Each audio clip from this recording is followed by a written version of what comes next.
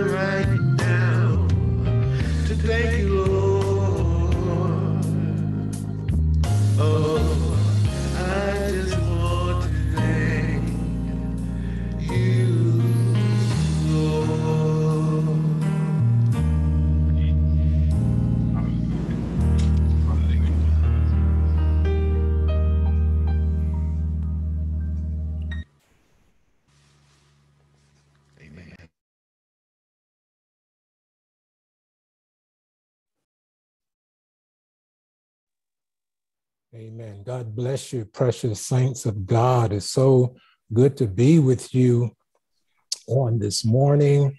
I honor your precious bishop and pastor, and certain to First Lady, Sister Victoria Nance, Mother Nance, and certainly to Mother Edith Smith. God bless you, Elder Nance.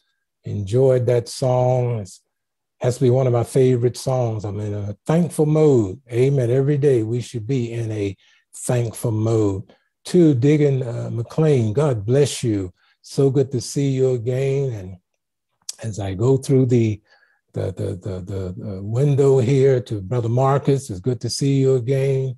Uh, Sister Dominic, amen. God bless you. I see a couple people at the bottom of my screen I do not know, but I honor you. Amen. I lift you up. Amen.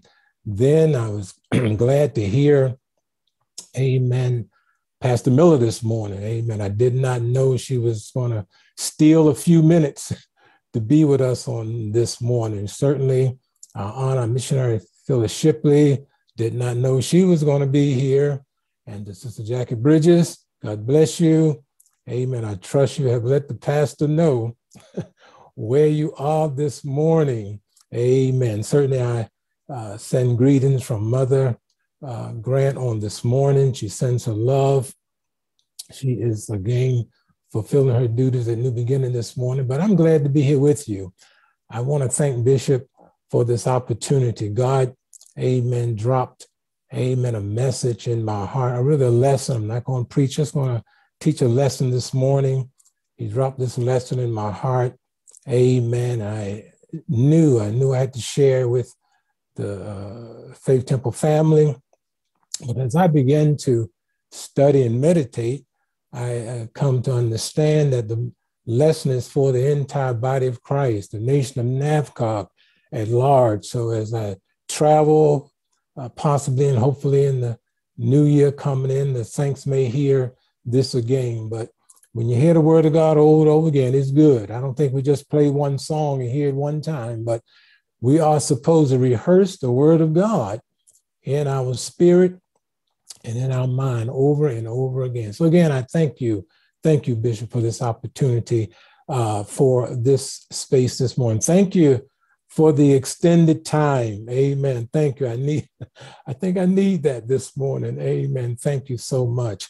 I have never, I've never opened my Bible and just thumb through the Bible looking for something to say to the people of God. I wasn't taught that way. My former bishop and pastor uh, told me to, amen, lay before God and see what God wants to say to his people. I've always done that.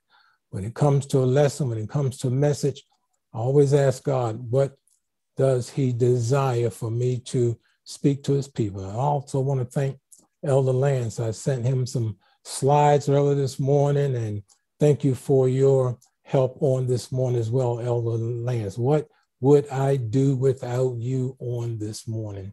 So, with that being said, I want you to, uh, Elder Lance, would you put the first slide up and I'll uh, read our golden text this morning so we can understand where the Lord is taking us to on this morning.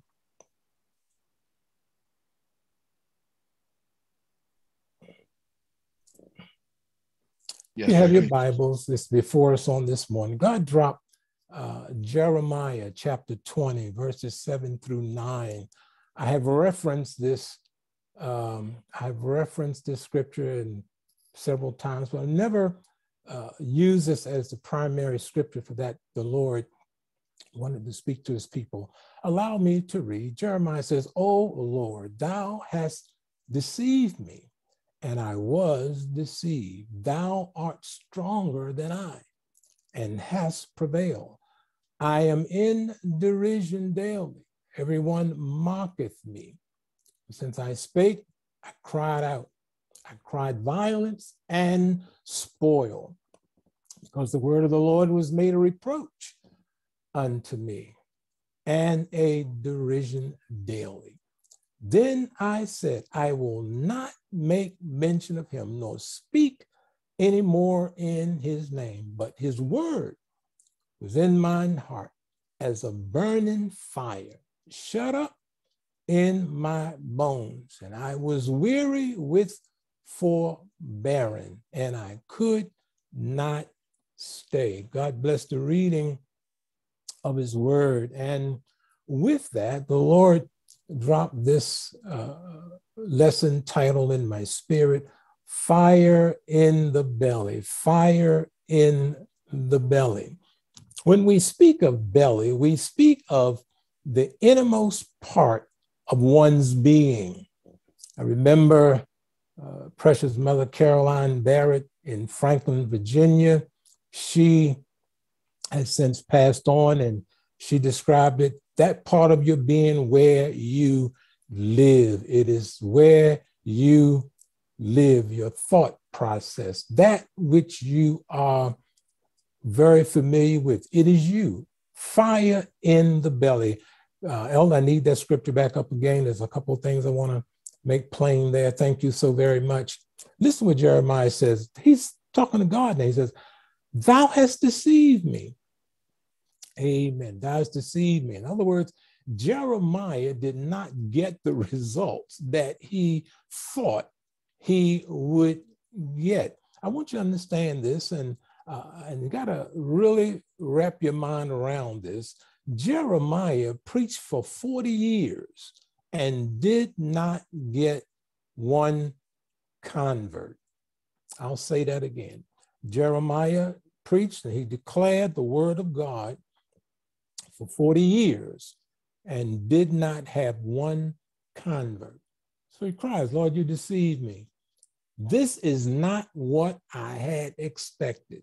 Saints of God, have you ever uh, called yourself doing something from the Lord and you did not receive the results that you thought you should get? That was Jeremiah. And he understood, he said, You're stronger than I am. You have prevailed over me. Listen what Jeremiah's daily situation was. I am in derision. In other words, he says, I'm being mocked, I'm being ridiculed, I'm being blamed, I'm being scolded. I am made a gazing stock, and people do not like me for what I am saying to them. Sounds like God has put him out there and let the chips fall where they may. He had no good news for uh, the people of God. I want you to understand, we need a little backstory here. Jeremiah uh, was called by God, and we'll get to that in a couple of minutes. He was called, but Judah is the evil time in Judah's history. The nation of Israel has already gone into Assyrian captivity. They have been there for a period of over uh, almost 100 years.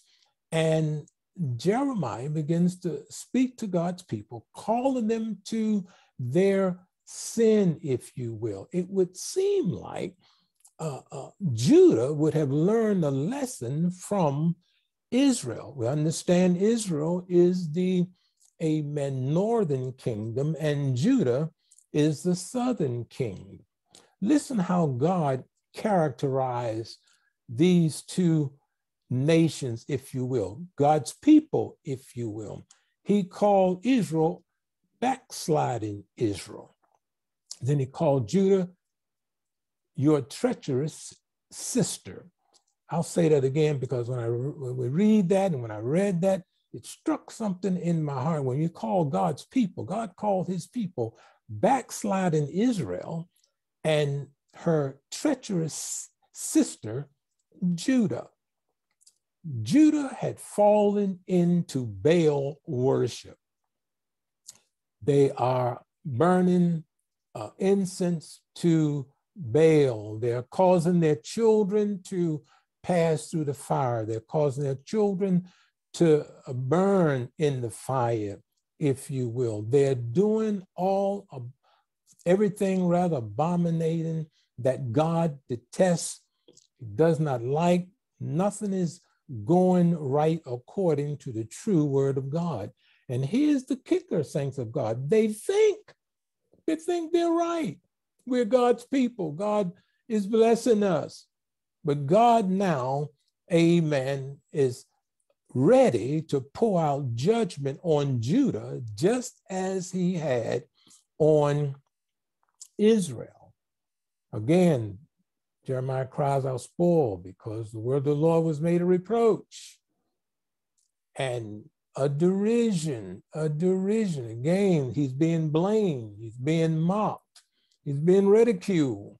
He doesn't get the results that he think he's going to get. But now we move to the ninth verse.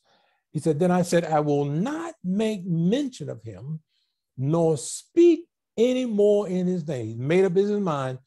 I'm not going to open up my mouth. I'm going to sit still. I'm going to go within myself. This is not what I have designed for my life. How many of us have been in that same position we did not get the desired results that we had spe- expected. When God's blessing, when God's doing good things in our life, we already tell of his goodness. But this is not the case for Jeremiah. But now he says, we get to the thought of the lesson today. But his word was in mine heart as a burning fire. People of God, fire it burns, as Jeremiah said. It constrains. Fire compels. Fire pushes. Fire is relentless. It does not let you do what you want to do, but rather we do, you do what God desires for us to do. Again, I'm going to repeat that because if you missed that, you missed the whole point of the lesson. Fire pushes, fire constrains, fire compels.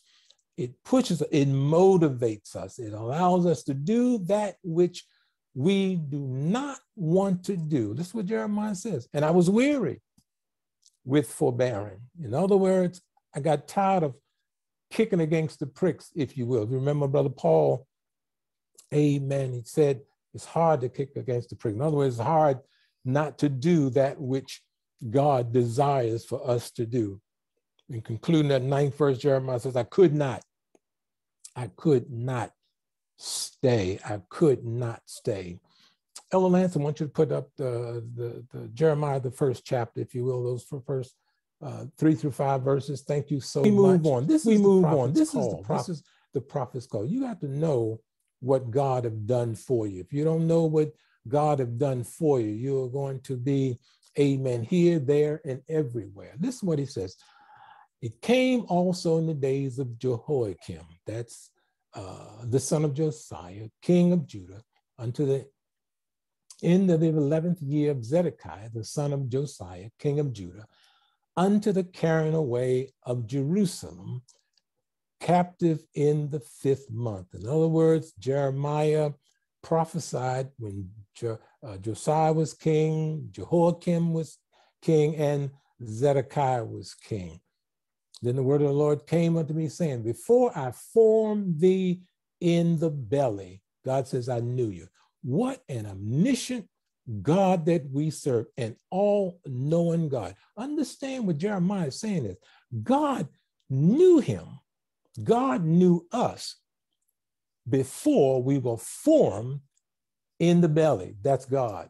Nobody but God. He says, I knew thee.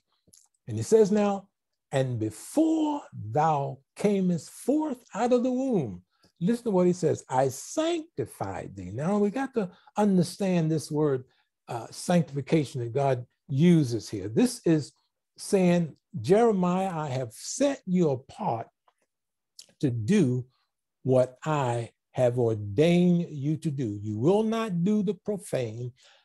Before I formed you in the uh, belly, before you came out of the womb, I set you apart to do what I call you to do. No wonder he could not, amen, uh, not do, not do what God called him to do. He says, and I ordained thee a prophet unto the nations. Now, fire in the belly. Jeremiah found out that God's word was so strong, his word was so forceful that he could not do what he wanted to do. No wonder God had his hand on him before, before he came out of his mother's belly. It is a good thing, parents that have had children, ask God to place his blessing upon your your children because if you don't do that, I heard this more so when I was growing up and what I hear now. Mothers gave their children back to God. I said it the dining room table, and my mother told me so explicitly. She says, Ivan, I gave you back to God when you were born. And that really touched me because she had something in her spirit that God wanted my life to be different than uh, uh, I had ordained for my life. And I'll share a story uh, with you uh, maybe further down in the lesson. But God already set Jeremiah apart to do what he was doing. The next slide, uh, El, if you would. This is what Jeremiah said. Then said I, Ah, Lord, behold, I cannot speak. We always put up a complaint to God why we can't do what we are called to do. I'm not smart enough. I don't have the experience. I don't know what this one knows. Um, we always try to compare ourselves to somebody else. Jeremiah was uh, no different than we are. He says, Ah, Lord God, behold. He says, I cannot speak, for I am a child. Listen what God says back to him. But the Lord said unto me, Say not, I'm a child, for thou shalt go to all that I shall send thee, and whatsoever I command thee, thou shalt speak. He says, Be not afraid of the faces, for I am with thee to deliver thee, saith the Lord. I'm always thankful how God prepares you before he sends you to do something. Not only ministers, not only uh, preachers, if you will, but saints of God if we have a listening ear to what God is doing in our lives, you will know beyond a shadow doubt whatever God have called you to do, just to live holy, just to live holy. He says, I'll never leave you. I will never forsake you. That's not just for uh, the disciples, soon to be apostles in the New Testament, if you will. That is to the church at large. God says to his people today, I will never leave you. I will never forsake you. I I, it matters not what your circumstances are. And saints of God, I'll be the first to admit, sometimes our circumstances feel as though they are so overwhelming that we cannot bear them. But God will give you strength. He will give you peace whenever we feel like those situations are beyond what we're able to bear. God tells Jeremiah again, Be not afraid of the faces, for I'm with thee to deliver thee, saith the Lord. Elder, the next slide. Now, this next slide is maybe a little lengthy, but you must understand the, the, the, the severity. God's people, Judah is a stiff necked people. They're hard headed. They don't want to hear truth. And they are comfortable in what they are doing. They're comfortable in sinning, if you will. Keep in mind, that was not the Judah that was called out to be a nation under God. They had slipped from where God had uh, uh, uh brought them from. This is the language. Then the Lord put forth his hand, touched my mouth, and the Lord said unto me, Behold, I have put my words in your mouth. This is an anointing. Saints of God, you may not know it, but the, the graces of salvation, we have, you have been anointed to live holy. He said, Behold, I put uh, my words in your mouth. See, I have this day set thee over nations and over kingdoms to root out, to pull down, to destroy, to throw down, to build, and to plant. What an awesome task that God laid upon uh, Jeremiah. I'll read that again because that's so significant. It tells us in a nutshell all that he will face. He said, I've set thee over the nations and over the kingdoms to root out, pull down, and to destroy and to throw down, to build and to plant. God's anger is at its peak. He's ready to pour out judgment on Judah. Listen to the 11th verse. Moreover, the word of the Lord came to me, saying, Jeremiah, what seest thou? And I said, I see a rod of an almond tree. Something we must understand here. An almond tree is the first tree that blooms in the spring. And what God is saying now I am hastening to perform my word. God's tired, the cup is full. He's ready to pour out judgment upon uh, Judah. And the word of the Lord came to me the second time, saying, What seest thou? And I said, I see a seething pot. In other words, I see a pot that is boiling. It's ready to overflow. It's boiling, and the face thereof is toward the north. Yes, and this simply means that God is going to send a nation out of the north to correct, to chastise, to bring is uh, rather bring Judah down so they will eventually, and I say eventually because they got to go in bondage and some will die, they got to eventually go into Babylonian captivity. Again, keep in mind, this is almost 100 years after uh, Israel has been captive to Assyria. God used Assyria as a chastening rod. Now God reaches out and is going to use uh, uh, uh, Babylon, the king of Babylonian or Babylon, as a chastening rod for Judah. You must understand, Jeremiah declared, he cried out, It's time for you to go into Babylonian captivity. You cannot resist it. All that resists uh, this captivity, you shall die.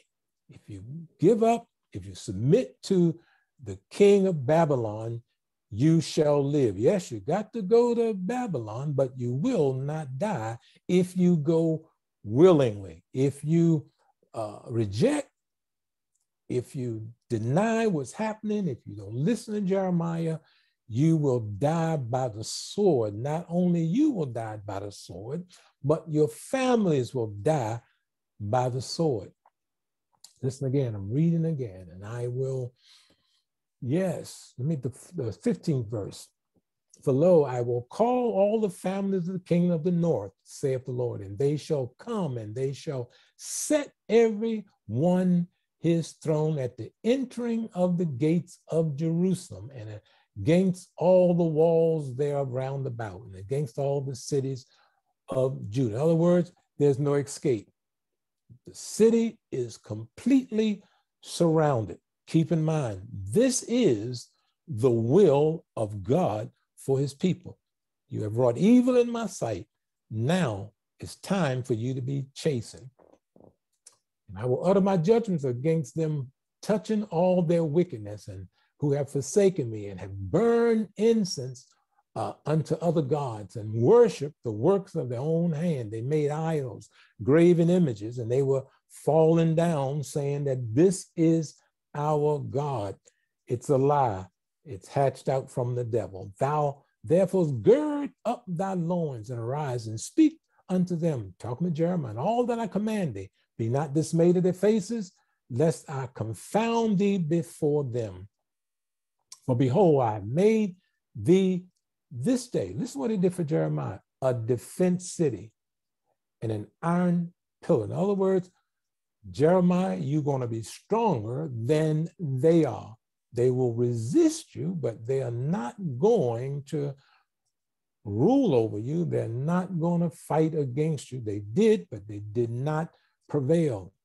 Brazen walls against the whole land, against the kings of Judah, against the princes thereof, against the priests thereof, and against the people of the land. And they shall fight against thee. Jeremiah had foreknowledge, but they shall not prevail against thee. For I am with thee. Oh, that should have been comfort to Jeremiah. Don't forget my subject fire in the belly. Fire in the belly. I am with thee, saith the Lord, to deliver thee. We see Israel's plight. Keep in mind, saints of God, God's word is being hastened. I'm ready to do this. Time is out.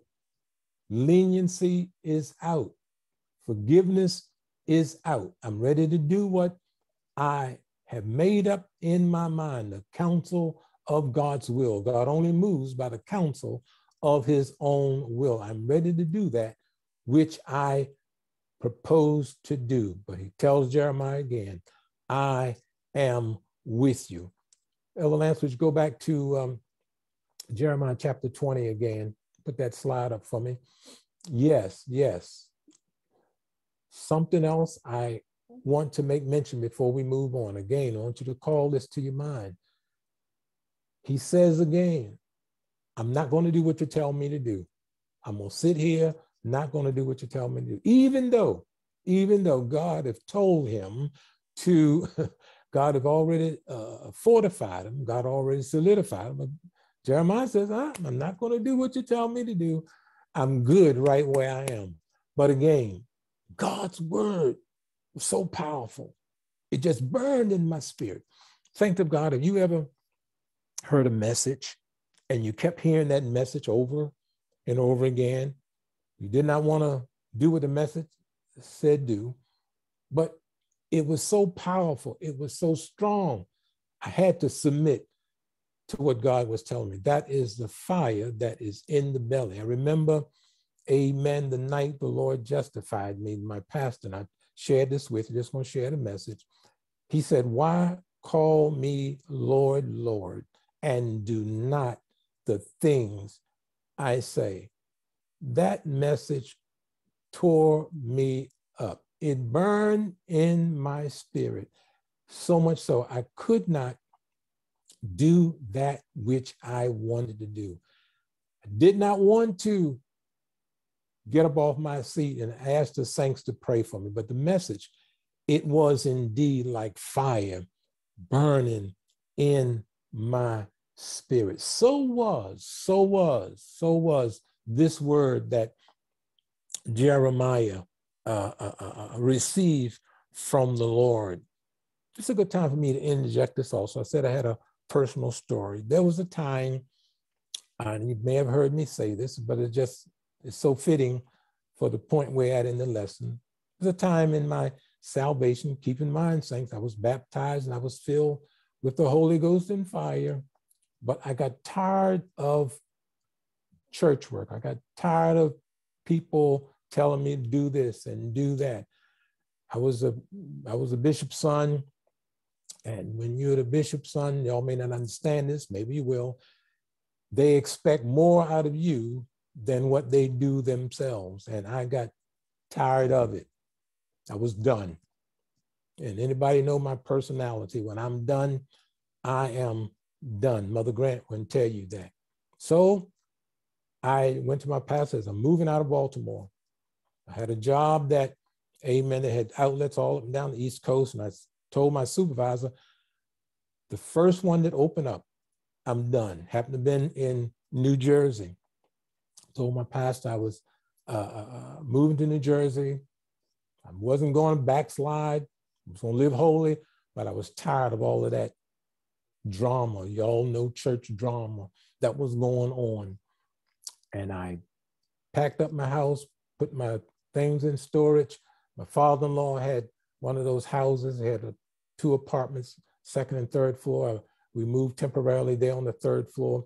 And as soon as I got word that that that that was open, mm, I was gone. I did get that word, but something happened between the time I told my pastor and the time that my uh, transfer came through.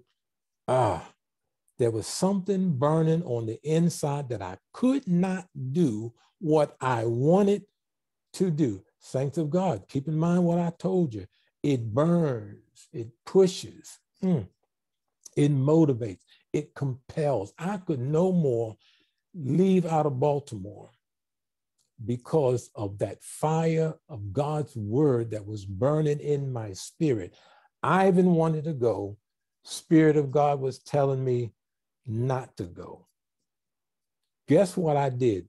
That fire was so prevalent. It was there in the morning, it was there at night. It just stayed with me. It, it, it bothered my mind. As Jeremiah says, but his word was in my heart as a burning fire. Shut up in my bones. I'm talking about fire in the belly. If you missed the point, I'm talking about fire in the belly that will not allow you to do what you want to do, but rather only do that which God desires for you to do. Keep in mind, saints of God, you don't belong to yourself. We're bought with a price. We belong to God. Paul said, you, you, you're bought with a price. You don't belong to yourself again. We belong to God. We are no more ourselves. We belong. We are God's property, if you will. You may not understand that, but you need to understand it. When you cry holy, when you say the Lord sanctified you, when you say the Lord baptized and fill you, you are not your own. God leads, He guides, He directs. He does what He desires to do in our lives. Again, I'm, I'm, I'm belaboring the point, but it's true.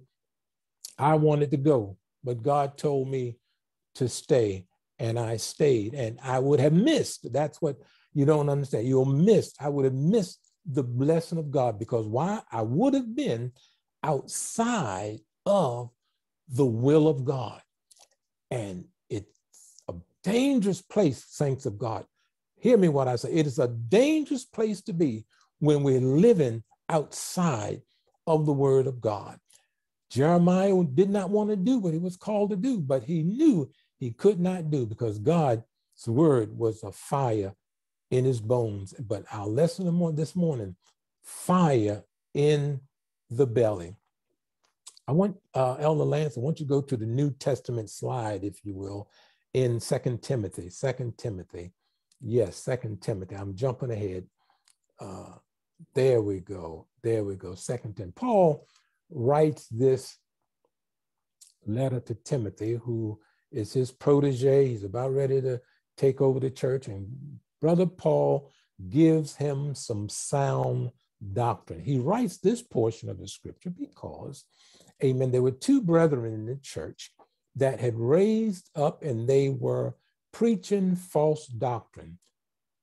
Hymenaeus and Philetus, they were preaching that, or they were telling the other saints that the resurrection had already passed. And Brother Paul says very clearly that the resurrection, Christ was indeed the resurrection. We know that from the word of God. When Christ went to uh, uh, uh the house of Mary and Martha, and he was just about ready to uh, uh resurrect, uh, yes, Lazarus, and he asked Martha a question. He says, "You think I'm able to do this?" And, and Martha says, "Yeah, I know. I know. No, my brother will rise at the at the end."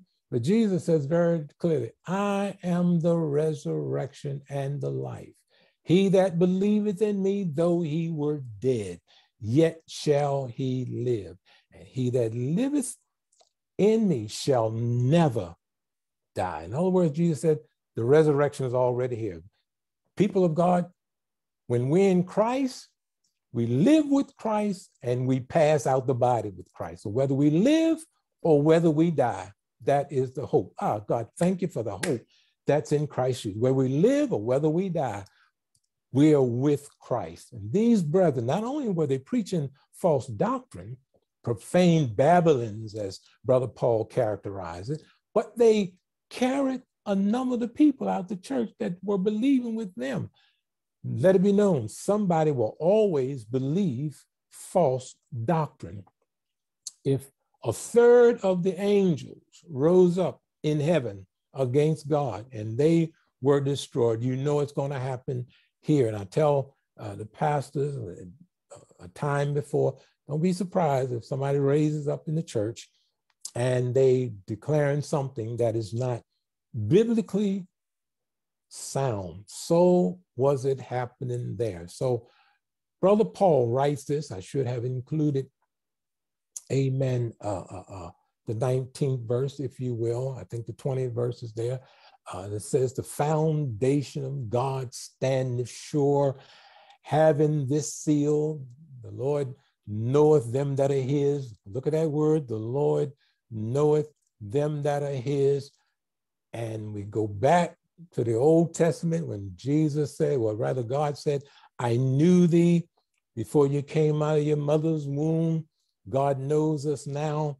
I place this New Testament scripture to let you understand, saints of God, that the Old Testament is only a lens to the New Testament. In other words, Old Testament concealed, New Testament revealed. Everything that God did in types and representations, all of that, it's clearly understood, it's clearly known, it's plain. Everybody can see it in the New Testament. And the word of God goes on to let, let us know, and Paul said, Every man that nameth the name of Christ Amen. Let him depart from iniquity. And I'll move on to what's on our screen there. For man, therefore, purge himself from these. He shall be a vessel of honor. Notice this word, sanctified people of God, where we understood it to mean in the Old Testament, we were set apart. We were set apart. Uh, Jeremiah was set apart for God's use. This word sanctified means the very soul is cleansed. This word means a cleansing of the soul. We understand the word in the Old Testament did not mean that because, stand the reason, no blood had been shed. Christ had not come on the scene. Christ hadn't died. Blood hadn't been shed on the cross. Christ had not been resurrected. Again, Jeremiah was uh, ordained, set apart to do what God called him to do. But listen to what this says. If a man therefore purge himself from these, that, that, that, that, that wood and that hay and that stubble that's recorded in the 20th verse, he shall be a vessel unto honor. Saints of God, we want to be vessels of honor, sanctified, meet, suitable for the master's use, and prepared to every good work. My daddy used to use this illustration. We're all just tools in the toolbox of God. He may not use you this day. Pastor may call on you next Sunday to do something, but understand, be ready whenever the call comes because we've lived holy, because we have been cleansed from our old ways. We have, we're ready when God calls us. Anytime He calls on us, and we thank God for that. Again, again, this false doctrine had gone out in the church and it had taken some of the church members away. And again, Brother Paul says, the foundation of God, truth. Truth was in the Old Testament, truth is in the New Testament. The foundation of God standeth sure. What is that seal? God knoweth them that are his. Every man, every man, the name of the name of Christ, we have to depart from all that is not, amen, honored in the sight of God. So, Brother Paul says to, amen, uh, uh, uh, Timothy, flee also youthful lust, but follow righteousness, faith, charity, peace with them that call on uh, the Lord out of a pure heart. Fire in the belly, fire in the belly. And the only way we can have fire in the belly is to, in fact, do, amen, be obedient to that which God have called us to do. Amen. We are the army of God, positioned to do what God have called us to do. Saints of God, I trust you're getting something out of the lesson on this morning. And now I, I may go back to some of that, but we're going to move on for right now. The New Testament, amen. I want to get my uh, uh, uh, uh slide for St. John chapter 20. Yeah, verses uh, St. John chapter 20.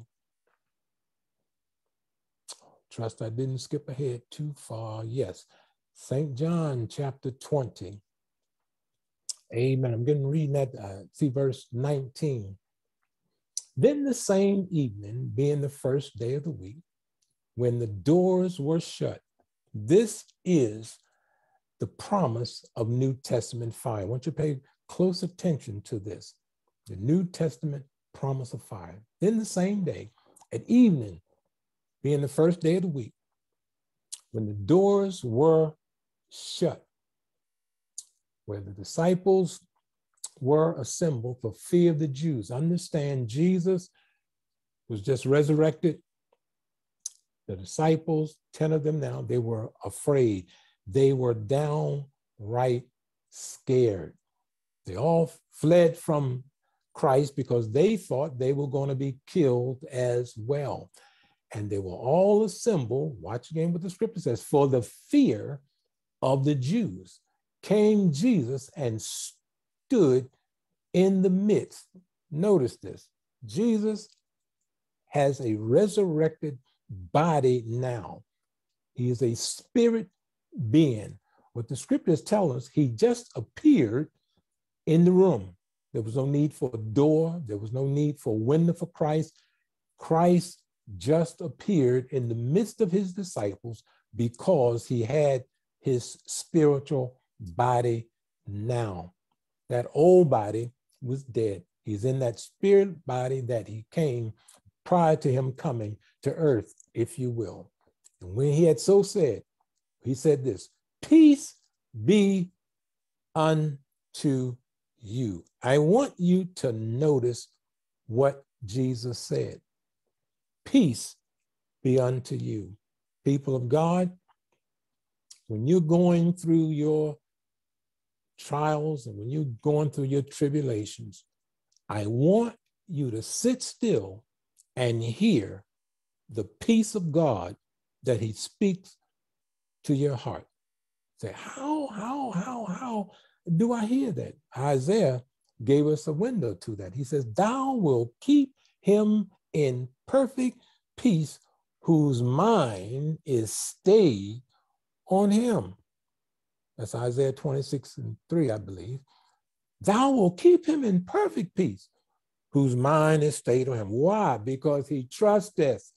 The only way you can receive peace is because you trust in the Lord. Sounds simple, but, but it's really not.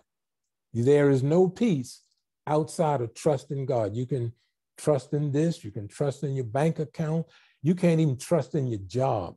I don't care if your bank account does say X number of dollars and you have supplied to the full, we must yet trust God. He put the disciples at ease. Let him, he, them know his peace grants assurance. Jesus said something like this My peace I leave with you, my peace I give unto you, not as the world giveth. He says, In the world you shall have tribulation. Saints of God, put this word, put that fire the word in your belly today. In the world you shall have tribulation. That's a foregone conclusion. You cannot run away from trials. You can't run away from tribulations. You can't run away from the hard things of life. You're going to have tribulation. But he says, In me, you are not of the world. Keep in mind, when God baptizes and fill you with the Holy Ghost, you are not of this world, but you belong to him. He says, Peace, peace be unto you. My peace I give you, my peace I leave with you, not as the world giveth. We're living in a day and a time, saint, that, that the world is relying on all types of fixes, all types of medication, this, that, and the other, trying to find some comfort. There is no comfort in the world. You can lay right down in the midst of trouble. The Lord is my shepherd. I shall not want. He maketh me to lie down in green pastures. This is while everything else is going on. Notice when, when David wrote that, he was going through. He was his life wasn't as it wanted to be. He was going through, but it said, The Lord allows me to lay down in green pastures. He leadeth me beside the still water. He restoreth my soul. Ah, that's the kind of God that we serve. He gives peace Ask God for that peace, that you won't wake up frustrated and upset in the morning when bad news uh, come in the mail or a telephone call comes and it disturbs your peace. We cannot avoid those things that come at us from day to day. You may have gotten up and prayed and everything is all right. But know this, saints of God. Jesus said to you, peace be unto you. And when he had thus, uh, when he had, had so said, the Bible says he showed unto them his hands and his side, wanting them to know, I am that one that was crucified. I am, I am risen from the grave. I am the same one that was with you prior to my death. Then were the disciples glad when they saw the Lord. Keep, they did not recognize him before. Not until he showed him his hands. Y'all know Doubting Thomas. We won't go down that road today. I won't read that, but he says, unless I see his hands, unless I see his feet, I will not believe. So with people sitting in the church right today, full of unbelief, saints of God, you will not receive the fullness of God and you will not receive the fire of God unless you believe God. Believing is not seeing. I taught a lesson years ago in Baltimore. Believe it is not sin. You believe when you don't see. you can believe all day long when when when when you see the blessing. You, you you know you're blessed and there's blessings all around. That's not but that's not having faith in God. Having faith is God when you don't have, when you can't see, when you don't know. That's when we must yet have that peace. I know I went far astray there. We're talking about fire in the belly. Peace gives you fire in the belly. Then said Jesus to them again, Peace be unto you. He assures them a second time. He assures them a second time. Peace be unto you. As my Father sent me, even so send I you. He's commissioning them. But I want you to notice the 22nd verse. Some good stuff in this 22nd verse. And when he had said this, when he had said this, he breathes on them. Mm. I looked at that word breathe and I asked God, I need understanding, I need revelation on this particular uh, verse here because it just wasn't natural breath. Two things happen here when Christ breathed on his disciples. Number one, Christ prepared them to receive the Holy Ghost. He says right there, receive the Holy Ghost. They could not have received the Holy Ghost unless he breathed on them. God revealed to me this is when Christ sanctified them. The breath of the, uh, thank you, Jesus, the breath of the Holy Ghost sanctified them. And I got caught up in the spirit there because God gave my father in law a gift, and I saw this gift in action. Some may not believe, but I, I, I witnessed this. I witnessed this. He gave him a gift to breathe on the saints as he was led by the power of the Holy Ghost. He would breathe on the saints and they would be healed. There was a, a sister saint in the church. Hope I remember the gender correctly, but one leg was shorter than the other. Some may think I'm talking, just be talking, but witness. He breathed on that infirmity, if you will, and the other leg became as long as the leg that was as it should have been. Again, the breath of the Holy Ghost is powerful. The breath of the Holy Ghost, I'm repeating myself, it is powerful, it is miraculous. He breathed on his disciples and he said, Receive you the Holy Ghost. He sanctified them so that they could receive it. He prepared them. Saints of God, you must be prepared to receive the Holy Ghost. You just don't receive the Holy Ghost just like that. You must be prepared to receive the Holy Ghost and fire. Yes. Then, uh, uh, uh, uh don't want to let this thought drop. He gave them a inkling of the power of the presence of the Holy Ghost when it was recorded in Acts, the second chapter, if you will. How do I know that? Because the Holy Ghost came as a sound of a rushing mighty wind. I shall continue uh, in Acts 1 and 4. And being assembled together with them, commanded they should not depart. They should not depart. Some very important stuff, but we'll get to uh, uh, uh, that in a minute. That is how to receive the fire, or those of us how to retain the fire. You just don't receive the fire, it has to be kept. I know the power of God keeps us, but there must be actions on our part to allow the presence of God to be with us. And being assembled together with them, what did he do? He commanded them that they should not depart from Jerusalem, but wait for the promise of the Father, which saith he, Ye have heard of me. He gave them some instructions. Saints of God, when your pastor stands before you and he shares a message, shares a lesson with you, I want you to have a second ear to hear God's instructions that are going out through the word of God. I submit to you, saints, if you miss the instructions that are given, you fall that much behind because you cannot act on the instructions that were given. God always gives his people instructions. Did not he do that to uh, Jeremiah? So he does it to his disciples here.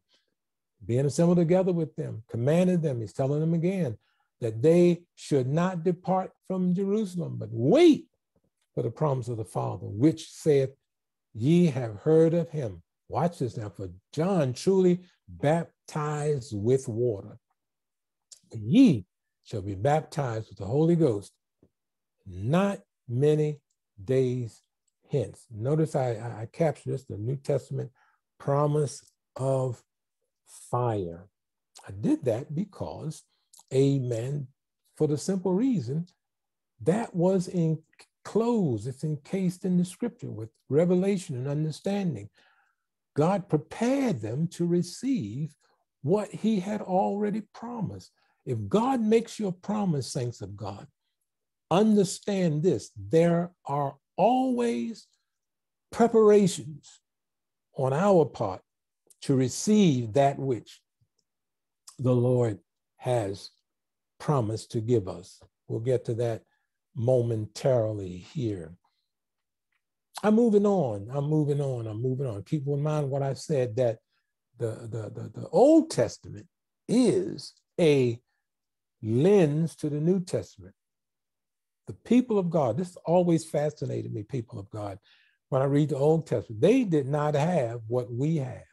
And maybe that's the reason why they they, they, they faltered. But there were some people of God that held on by their obedience to the law. That's all they had. What the law told them to do, that is what they did. And because they did what the law told them to do, they were blessed, if you will. We move to St. Luke, the 24th chapter. Jesus getting ready to go off the scene here. And I caption this as how to receive the fire of the Holy Ghost. There's some things in here that we must do to receive the fire of the Holy Ghost. Amen. It's a package deal. You don't want to go to your favorite outlet and they says this is enclosed in uh, your package. You don't want to see anything left out. We want everything that the store promised me or this that I have put on my list. I want you to understand we cannot fall short of anything that's in the package of salvation. This is what he says here. This is uh, uh, how to. I am, I know this very well. I not only tell you what to do, but God has made me an how to preacher. You can go on YouTube today and you can find out how to fix anything. Don't believe me? Check out YouTube. You may have already tried it. Years ago, we used to have manuals. It's so easy. Mother Grant has this saying, and it's true. If we hit a problem, we don't know how to do it. She says, somebody has had the problem before us. Let's go on YouTube to find out how to do it how to receive the fire of the Holy Ghost, and I'm putting an addendum to that, how to retain the fire of the Holy Ghost. Listen to what the word of God says. And behold, I send the promise of my Father upon you. Here we go again. But tarry ye in the city of Jerusalem until ye be endued with fire. And uh, let me back, endued with power from on high. He just gave some instructions. Remember the instructions I just said a few minutes ago? He gave some. What is the instruction? I want you to be obedient to what I told you to do. And behold, I send the promise of my Father upon you, but tarry ye in the city of Jerusalem. I want you to stay there until you be endued. I don't want you to get tired. I don't want you to say, well, it's not coming. I've done this and then nothing happened. I'll, I can't allow you to understand how many times I've heard the saints of God come to me. I prayed and I prayed and nothing's happened. That bothers my spirit. You know what I tell them? Go back. Pray again. You didn't do it right. God's word is for all people. I've seen the saints in the church, sit out, sit in the church, right where all the fire, all the power is, and miss out on what God has for them. But then again, I've seen those that knew nothing about the word of God come in the house of God and get what God had for them. All because they didn't have any preconceived notions. They didn't get tired. They didn't get upset, but they allowed the word of God to work in them, and they heeded the instructions that uh, the pastor gave them. He says, Behold, I send my. He says, I'm sending it. I'm if somebody tell you that they're sending you something, what do you do? You wait for it. That's what tarry means. You wait.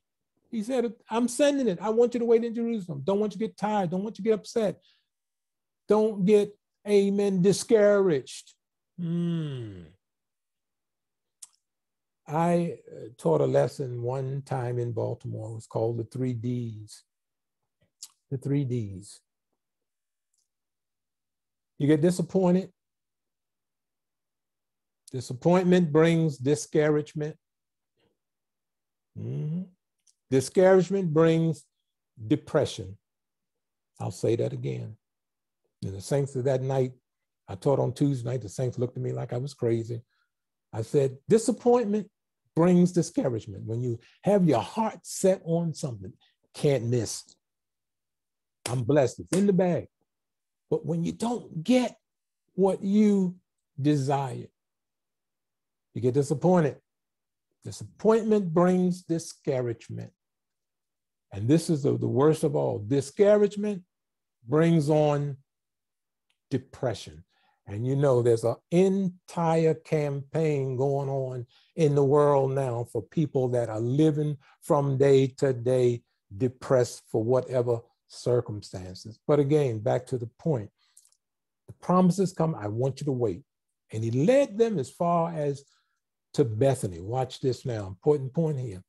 Christ could go no further with them. He had done everything that he had done for them. He led them as far as he could go. He lifted up his hands and he blessed them. And it came to pass, while he blessed them, he was parted from them and was carried up to heaven. The promise is there. his blessings upon them. It was up for them to be obedient obedience. We know the scripture. You know this. Obedience is better than sacrifice. What does that scripture mean? Obedience is better than sacrifice. In the Old Testament, saints of God, they had to bring their sacrifice, the, the, the, the, lamb to be slain, if you will. And that was this. If they did the sacrifice, it was good. How does that impact us upon in this day and time we live? God would rather for us to obey him than for us to do all those church trappings, if we will. We attend church but don't obey him, no good. We attend church and don't pay our tithes, no good. Because that's a tithes is a sacrifice. Because we again, he is telling us what to do so we can be blessed. Saints of God, you don't really have to ask God to, to bless you. You don't have to ask it. Just pay your tithes. I'm digressing, but pay your tithes. You're already blessed. It's not up to you, and it's necessary. It's what we do to see how the money is being to being uh uh, uh, uh, uh, dispersed, and we know that the money is being dispersed because we have business meeting and we have documentation that you can come look. But we obey. We do what God tells us to do. Bring ye all the tithes into the storehouse, that there may be meat in mine house, and prove me now herewith, saith the Lord of hosts, if I will not open the windows of heaven and pour you out a blessing that you shall not have room to receive. We can deduce from that scripture if I pay my tithes, I am already blessed, no matter how he chooses to bless me. And it came to pass while he blessed them, he was parted from them and carried them up in heaven. And they worshiped him and returned to Jerusalem with great joy. And they were continually in the temple praising and blessing God. Oh, there's a whole lot. Oh, not yet. Oh, yeah, thank you. There's a whole lot in here that we need to understand. Something is going on here. We must, in order to get the fire of the Holy Ghost, we got to be obedient. We got to have joy. joy is not something that you can do by yourself. Joy comes with knowing who Christ is. Joy was placed there when you cried holy. You're supposed to. Joy. They blessed them. Jesus blessed them. What did they do? They returned back, praising and blessing God continually. The praise did not stop because they had a promise. I want you to stay here. I want you to uh, uh wait. When God, when Christ, when God blesses his people, joy, joy comes. This is joy that, amen, the world has no definition for. This joy, the, the joy that comes from the world, is short lived because of things and happenings. I'll say that again, that's noteworthy. Joy from the world comes from the fact they have things and things, stuff is happening in their lives. Events are happening in their lives that they are glad about. Oh, I'm happy today. Well, what happens when you don't have things? When you didn't get what you thought you'd get from the Lord? This joy that He gives, it is spiritual joy. It's joy unspeakable, as Peter said, full of glory because the Lord have done something down in your spirit. We used to sing, I taught a song to the choir in Baltimore. I can't stop praising him. I can't stop. Why? Because the joy of the spirit is down the inside and it's not affected by how much money I have. It's not affected by the job that I have. It's not affected by trials and tribulations. It is separate from what I am going through in my life. I used to tell the people in Baltimore, on your worst day, that's the time you come to church and allow the Spirit to take you up. Praising and blessing God. How long? Continually. Saints of God, I, I will be so glad. I know you. Uh, we thank God for the medium of Zoom. Thank God. But when the time comes that the saints of God can gather, I'm waiting for that time. We can gather and we can lift our voices in praise and adoration. It should be spontaneous. Nobody should have to tell you to raise your hands and praise God. You know why they can't raise their hands and praise God? Because there's no joy, there's no praising down on the inside. It's got to be on the inside. Fire must be in the belly before you can praise God. They were just joyful. Watch the fire hadn't fell. They were just joyful because he blessed them and they saw him leave and they had a promise that they hid in their spirit. So they went back to Jerusalem. They tarried there with joy, praising God and blessing God continually. Listen to what else they had unity. They were in unity and fervent prayer and supplication. Three things that we have to understand here unity. Of course, they were all together. They, they, they, they had this mutual love and admiration for one another. But I want you to understand, saints of God, something else happens in this word of unity. We think it's just from saint to saint. You have to be unified in your own self. That is so noteworthy. I'm going to say that again. You have to be unified in, within yourself. Your mind cannot be here. Your mind cannot be there.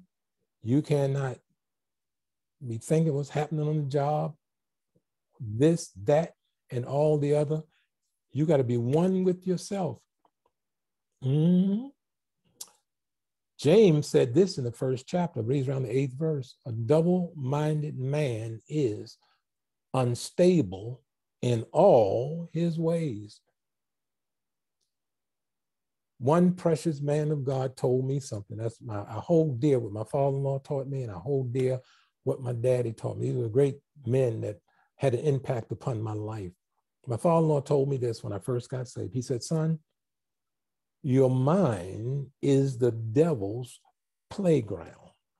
Hmm. I'll say that again, and it's true. Saints of God, if you allow the devil, your mind is indeed the devil's playground. You got to be in harmony with yourself, in unity with yourself. You can't doubt. There's no room for doubt in God. There's no room for unbelief in God. No room. If it is, you make room for the enemy. I will not make room for the enemy. What does the enemy do with your mind? He torments, he disturbs. Sad to say, some saints cannot lay down at night and have a, a peaceful sleep. God knows I'm not talking about anybody. I'm just talking about things that I have experienced as a pastor down through the years. Saints of God, you are supposed to lay down at night and let your rest be peaceful because, again, scripture says, Thou will keep him in perfect uh, uh, peace whose mind is stayed on him. If your mind is not stayed, I know we have family, I know we have responsibility, but at the forefront, you must keep your mind, amen, stayed on those things that God have, have shared and given you. Fervent unity, unity within yourself can't be a scatterbrain, given to do this one day and given to do that because you change according to the situation. Saints of God, we are the same. Fervent prayer. Hmm. The fervent prayer of a righteous man, James said, availeth much. What was James talking about? This prayer is so motivated, it's so hot.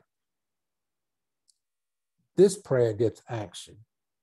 And that's what they were doing. They were united in prayer. This prayer gets results because we stay before the Lord. I was taught, my pastor taught the saints of God, we carry a prayerful spirit. I am always praying. I'm always lifting the saints of God before God. Now, talking about the time that I, I fall on my knees. I'm, I carry, I carry a prayerful spirit because I have allowed God, you gotta allow, I've allowed God to drop this one in my spirit and that one in my spirit and the other in my spirit. I am always in a prayerful spirit. That does not allow the enemy any room. Supplication. Supplication means you're very specific in your prayer.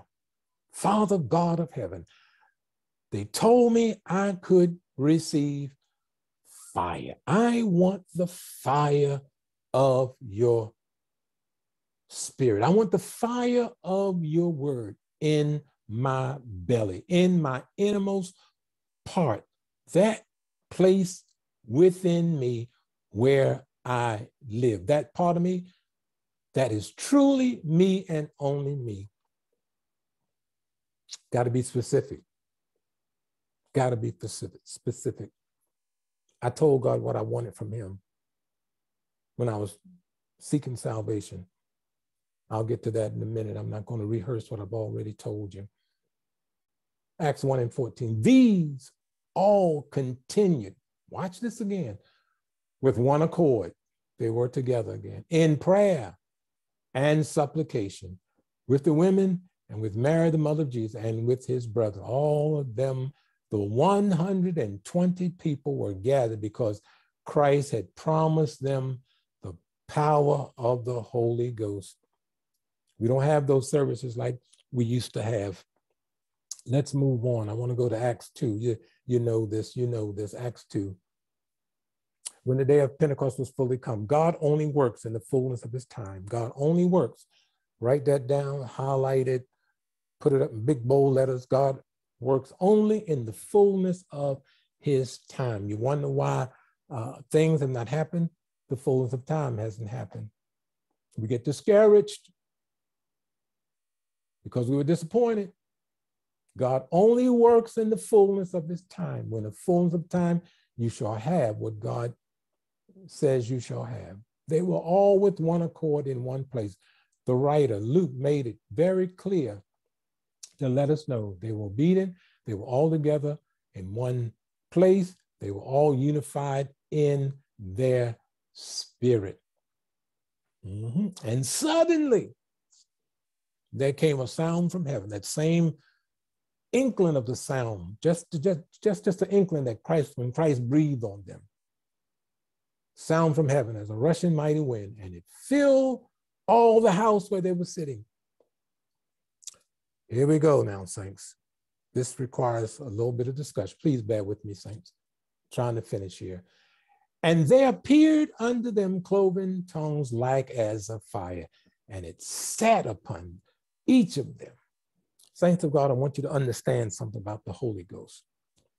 The evidence of the baptism of the Holy Ghost is indeed the speaking of other tongues, tongue that you are not very well familiar with. That is the evidence, the speaking of tongues. But everybody in the church does not have the gift of tongues. It's a difference between the evidence of tongues and there's a difference between the gift of tongues.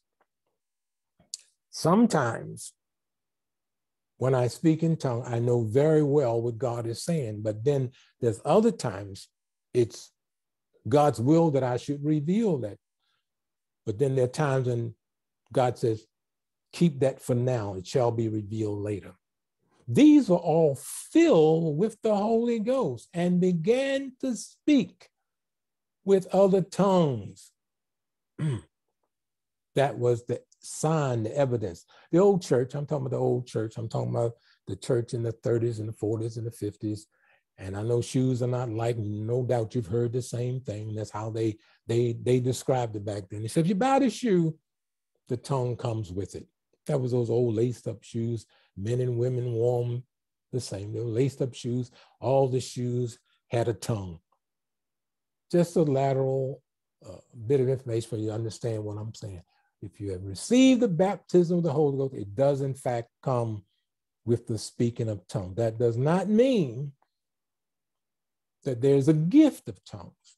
Mother Grant will very well let you know that when she received the baptism, she spoke in tongue, but she'll let you know she does not have the gift of tongue.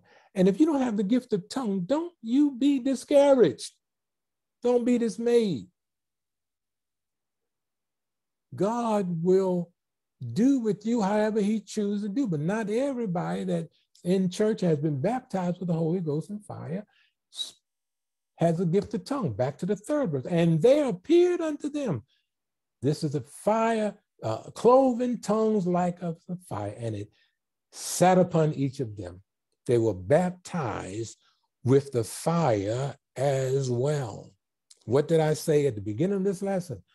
Fire motivates, fire constrains, fire compels, fire pushes you to do that which you do not want to do. Remember, I told you I wanted to leave Baltimore? The fire of the Spirit would not let me. You got to know, you got to know the voice of God when it's speaking to you. You got to know when the word of God, the word of God is like fire. I couldn't get around it. I was like Jeremiah, I couldn't stay. I couldn't follow through with the plans I had made. I had to submit to the will of God, to stay where He had placed me, and to endure whatever I was doing. I would have missed out. I would have never gotten to Florida if I had a pushed ahead to New Jersey like it was in my spirit. It wasn't for the Holy Ghost to send me to New Jersey. You got to know what the Spirit tells you to do. That's how you receive the Holy Ghost and fire. You got to be obedient. You got to have spiritual joy. You got to have joy down on the inside that makes you rejoice when you don't feel like rejoicing. When someone uh, uh tells you to, to, to, to, to rejoice, you're rejoicing anyway. If you need somebody to tell you to rejoice, then you know there's no fire in the belly. If somebody needs to tell you to do this and do that, there's no fire in the belly. When there's fire in the belly, he'll tell you, time to pray, time to do this, time to do that. It's the Holy Ghost and fire leading you and doing what He wants you to do when you don't feel like doing it. Classic example. Not everybody, not everybody. When we were gathering, I know there are nights that you don't feel like going to church. Sundays, we've all agreed Sundays is the best day you want to stay in bed But the fire in your belly will drive you to do those things you don't want to do. Notice the next time, notice when God speaks and you ready to say, no, nah, not, not today, I'm good. Hmm. When I was coming through, I lived 45 minutes from the church. 45 minutes from the church. And Sunday school started at nine o'clock. That means I had to leave home. I think I've shared this once before. I had to leave home at least by eight o'clock. Why eight o'clock? I may run into traffic. I know it's not much traffic, but I live, I was outside the city of Baltimore. I live in Harford County. I was on time, ready for service. I couldn't get to church enough. I'm coming to my last point. You don't have to put up this slide, Elder. I'm going to end on this. Saints of God, I wish I could roll back the curtain and allow you to see how the church, I'm talking about Trinity, when my daddy was pastoring, how the church was on fire. We had revival every month. He didn't call preacher out of town, this, there. My daddy preached revival every month was prior to the fourth Sunday. He preached on Wednesday night, he preached on Thursday night, he preached on Friday night, and he preached on Sunday, and he preached on Sunday night. That was the revival week. But I wish you could just feel a part of the atmosphere that was in that church. Because somebody had prayed. Somebody was on their knees saying, Lord, save to the uttermost. And I saw, you could feel the power of God in the church when you crack the door. Mm. That fourth Friday night in May, 1974, I was seeking for the Holy Ghost. I wanted that power, I wanted that anointing in my life. I made up my mind. I'm receiving. I'm receiving that tonight. And as I look back, I, I don't know whether the pastor even, I don't even think he preached that night because the power of God was so thick in the church. But I closed everything out and I looked away to heaven. And the Lord filled me with the Holy Ghost and that with fire. Ah, thank you, Jesus. Saints of God, I could not, could not drive my car home that night could not drive my car home that night. Somebody, I don't know who drove my car home that night, but I got there. That time, my, my in-laws, they were transitioning from New York to Baltimore. My, my, my in-laws were staying with me. I made so much racket. I made so much racket. I woke the whole house up. My mother and father, they came down and we all, we had service. Oh, thank you, Jesus. We had service all over again in my living room because the power of God was so thick. Saints of God, I said that to say this. It doesn't stop when the benediction is said. Church and relationship with God continues because there's fire in your belly. What allows me to go from Florida to Baltimore, from Florida to Norfolk, from Florida to Warsaw, here, there, and every, it's the fire of his spirit that pushes me. You can't do this. Nobody can do this on their own. I want to close on a perfect example here, but I wish, I wish you could have been there. We sung a song. I wish you could have been there when the Lord saved my soul. Anybody that just stepped in the church, they would have received salvation, whatever they were looking for. It was there. As you all know, uh, tropical storm, Hurricane Nicole just blew through Florida. And Mother Grant and I, we had the, the local station on practically all day because we wanted to keep updated what was happening here, there, and everywhere. And they happened to show something that was happening uh, on the north side. Was an apartment complex near the Trout River. Apartment complex caught on fire. When they first showed it, it was just the smoke. You couldn't see the fire. Couldn't see the fire. But they revealed that the fire was in the wall. And the fire department had to literally break through the wall of the apartment so that they could release the fire. And of course, the crowd had gathered around to look on to see what was happening. And as I watched that newscast being unfolded before me, I shared this with Bishop, and I'll share this with you. My daddy used to say this. I'm going to end on this point. I'm going to have prayer. He said, When the church catches on fire, the world will come to see you burn. I've witnessed that. We had people come off the street, and I know Warsaw is a rural area, it may not be the same. I was in Baltimore. People literally came off the street came in the church and they were affected, they were saved, some were saved just because they came in the church in the midst of the saints because we were so much on fire because we had given ourselves laying before God and fasting and, and, and, and prayer and supplication. We wanted God to do something. I witnessed that. And I am so anxious. I am so ready for that to happen in this day and time. I know it's going to happen. It will be there. It just won't be a coming together and we go through the mode shows and we go through our reading and the testimony and then we go go back home. What happens when you go to church and you can't leave? I've experienced that. Nobody wanted to leave the house of God. We were just so engrossed, so engulfed what the Spirit was doing, we didn't want to miss anything because my pastor would say, if you if you leave, you're gonna miss out on. We didn't want to miss anything that God had for us.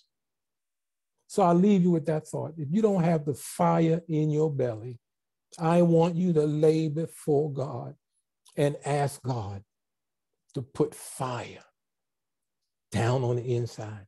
Fire so much that you cannot do what you want to do. You'll know you have it when you know it's not you, but it's God that's leading and guiding you. You, you can write your agenda out, but you can't do what you want to do because, as the song says, something got a hold of me. I'll repeat the scripture again. You don't belong to yourself. Faith Temple, you've been called by God. You do not belong to yourself. If you pass out the body, who do you expect to go to? God. So if you expect to go to God while we're here on earth, you don't belong to yourself. No. I have passed three times seven and I went around that, that bin and I picked up $200 and go a couple times. I can do anything I want to do, but there's something down on the inside. Sanctuaries thing like that holds the rain something will not allow me to do what I want to do.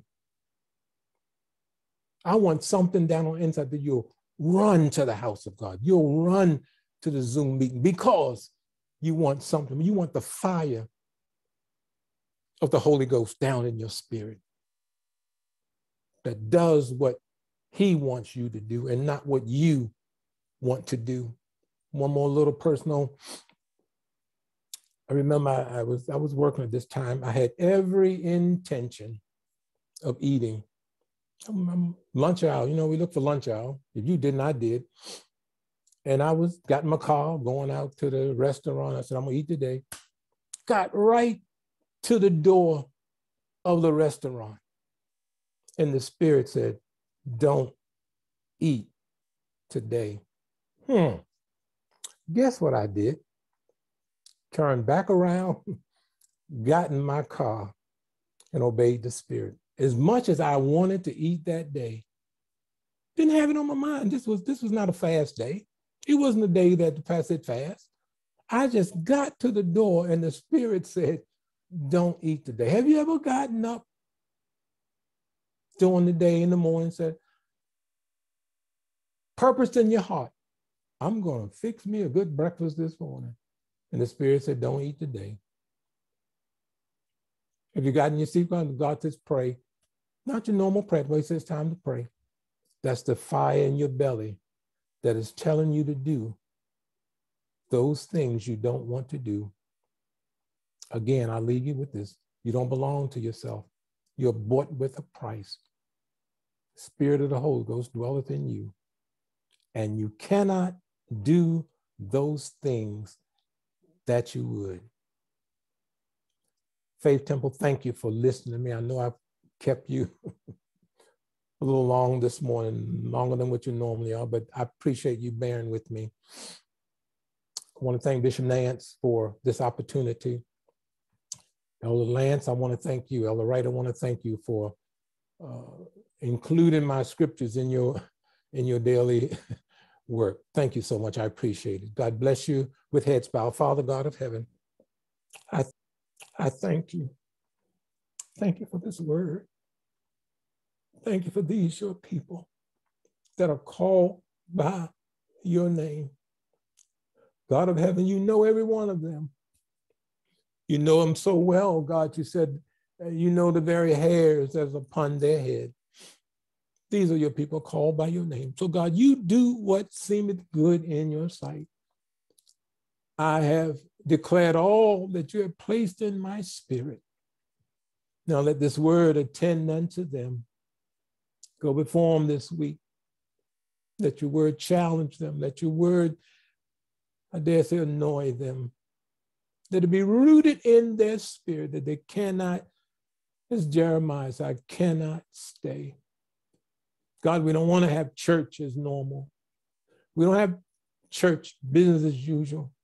But God, take us out of ourselves. Let your word, let your word burn as fire, that will motivate us, that will push us, that will allow us to get off a dead center. And we will hear you.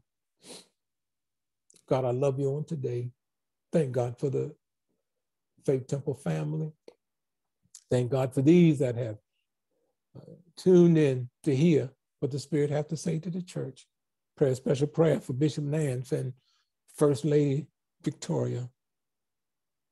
Bless them in that household. Mother Nance, God that your perfect will be done. God, we thank you for these, God. Again, God, these are your people. They don't belong to me, they're your people. So you have your way in their lives. Their needs are before you. You said in your word, Father, whatso we ask according to your will, you said you would do it. That's your word. That is truth. And we stand upon it and we claim to be so and I count it done now. There's one not feeling well in the body, touch, heal, and deliver. There's one facing situations in their life, don't know how the situation is going to work out. I say to you through the Spirit, it is already done. Word of God tells us, cast all our care upon you, for you said you careth for us. But God, you get the honor, you get the glory. We'll take none of your honor, we'll take none of your glory. But God will be so careful to walk circumspectly, not as fools, but as wise, redeeming the time. God, the days are evil. God, I thank you for this time that I've spent. Thank you for the listening ear. Thank you for the hearts to receive. Father, I count it done now through Christ Jesus our Lord. Amen. And thank God. It's in Bishop's hand at this time. God bless you. Precious saints of God, I love you. Praise God. Amen. We, we want to just thank God for that word. Uh, amen. And Saints, uh, Faith Temple, I want you to know that uh, uh this word is uh, read along with what God spoke to us. Uh, Sunday told us that we were chosen, amen, and ordained to go forth and bring forth fruit. And He came back to this Sunday and told us that we were chosen, hallelujah, before the foundation of the world. Amen. And he equipped us to go do what he has told us to do in these terrible times. Hallelujah. We should have the joy, the peace, amen, to go forth and share the love of Jesus. Amen. And he also instructed us. I'm not going to hop on it long because I know you've been on there a little while. Amen. But be certain you need to stop praying. Those that have not received the Holy Ghost and that with fire need to pray, dedicate some time, hallelujah, that you can get that fire. Amen. And, wait on God and get your mind together, get it on one accord. Amen. And seek God's will for your life. Amen. And and let God fill you and baptize you with the Holy Ghost and that with fire. Amen. Uh, he saved you not just to save you, but he saved us to go do a work for him. Amen. We have to have the Holy Spirit. Amen. Go back and look at the tape. Elder Writer have it up. Hallelujah. Momentarily. If not today, it'll be ready by Monday. Amen. And look at it. Rehearse it over and over again. What he told you, that, what God is saying to get to be baptized in the Holy Spirit. We need to have the fire, saints. We need to have the fire. Amen. Amen. And be endured with power. And I think Apostle said, the God said, told him, said, don't look for the Holy Ghost just for the speak in tongues. You need to have the Holy Ghost to give you that power. The speaking in tongue or is the evidence of the Holy Spirit. Hallelujah. So none, none of the world today wants to wants to speak in tongues, but hey, you need to listen what God said today and just hallelujah. We need the power. The, the world needs to see the power of God. Amen. And Apostle said in Jeremiah time, God was fed up. Amen. He was ready to lower the boom. Hallelujah. I think we can relate to that in our time today.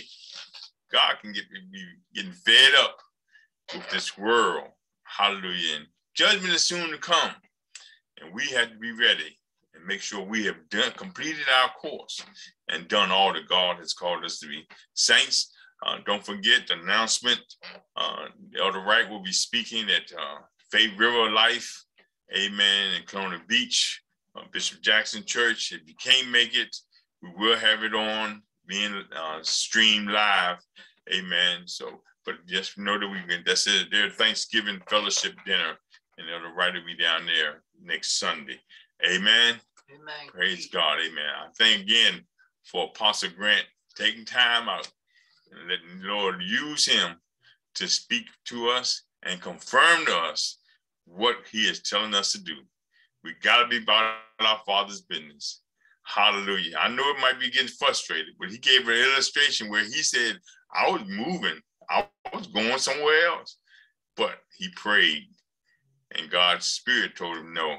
And I can relate to that because I wanted to retire in Texas, but I'm here because God put me here. And I thank God again uh, that I was in his will and I'm here. Amen.